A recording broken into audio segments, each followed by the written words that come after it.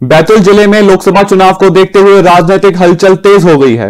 जीत के लिए कांग्रेस और भाजपा के नेता अपने अपने दांव पेश लगा रहे हैं। बैतूल ज़िले के आमला तहसील के चुटकी गाँव में कांग्रेस प्रत्याशी रामू टेकाम के समर्थन में जनसभा को संबोधित करने पहुँचे।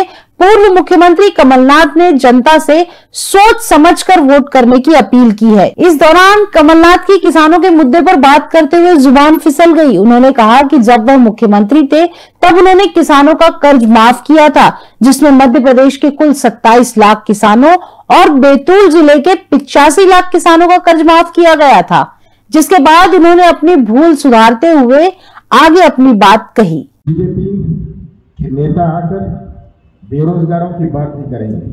किसानों की बात नहीं करेंगे। मैं मुख्यमंत्री था। मैंने मध्य प्रदेश में सत्ताईस लाख किसानों का कर्जा माफ़ किया और बैतूल ज़िले में, बैतूल ज़िले में मैंने पचासी लाख किसानों का कर्जा माफ़ किया। सही है? ये पहले किस्त में मैंने कर्जा माफ़ किया। दूसरा किस्त चालू था। मुझे चिंता थी कि हमारे किसानों की आर्थिक मजबूती बने। उनके साथ न्याय हुए, उनको सही मूल्य मिले।